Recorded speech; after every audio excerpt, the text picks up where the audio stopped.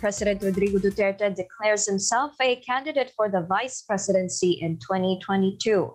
That's one month after the ruling party PDP Laban adopted a resolution urging him to run for the country's second highest post. Duterte, however, reiterates he will give way to House Majority Leader Martin Romualdez should he decide to join the vice presidential race.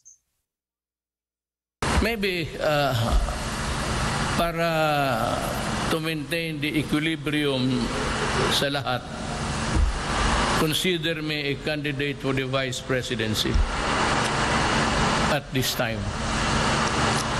Pero sabi ko naman, space, kasi si Romualdez, kasi I promised him Duterte, meanwhile, continued to throw jabs at his party mate Senator Manny Pacquiao, who is mulling a possible presidential run next year. Duterte and Pacquiao have been trading barbs after the boxing icon claimed corruption was getting worse in some government agencies. You know, when you are a champion in boxing, it doesn't mean to say that you are a champion in politics.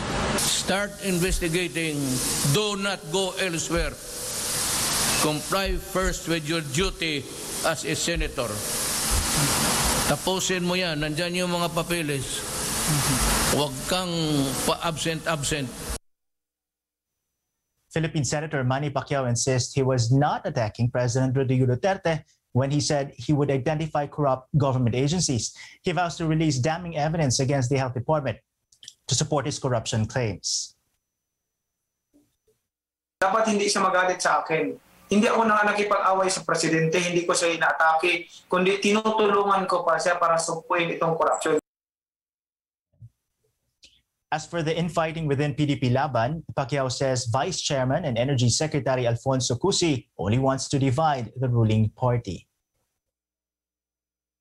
Itong si Rakusi, gusto niya biyakin ang partido dahil wala siyang wala siyang pagmamahal, wala siyang care sa ating partido na PDP. Not my in my time as a president of the party. Gusto ko silang turuan ng leksyon.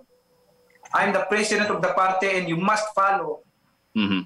the uh, rules and bylaws of the of the party. Kung ayaw mo, di lumipat ka sa ibang partido. Right now, I have more than 10,000 signatures from the members of the party, yung mga active members, qualified members to vote, to support. That's reality. Philippine President Rodrigo Duterte insists on keeping Francisco Duque III as his health secretary. This, even as some of his cabinet members have advised him to fire Duque over his supposed failure to prevent the COVID 19 crisis in the Philippines from worsening. Bakit ko tanggalin? Against the advice of the many, even cabinet members, sabi ko, I will stick with the man na walang kasalanan and working only, doing his job. There is no coherent reason why Duque should be out. Pero kung gusto niyang umalis, ibang istorya yan.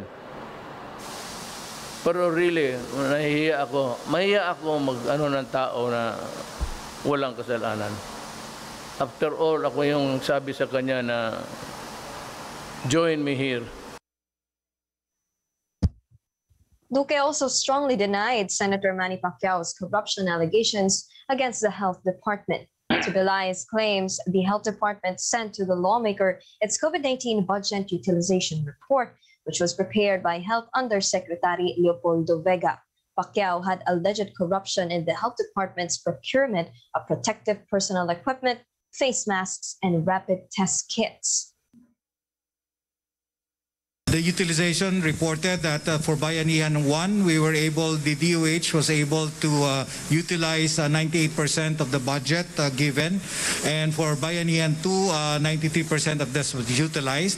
We also submitted the report uh, to the Office of Secretary uh, Senator Pacquiao, the uh, procurement uh, through PSDBM, since uh, this is a whole of government kind of approach. And uh, we, uh, we had the support of uh, PSDBM in the procurement of uh, several testing kits, laboratory uh, uh, reagents, and of course equipments. The report on the uh, vaccine obligation and disbursement has also been submitted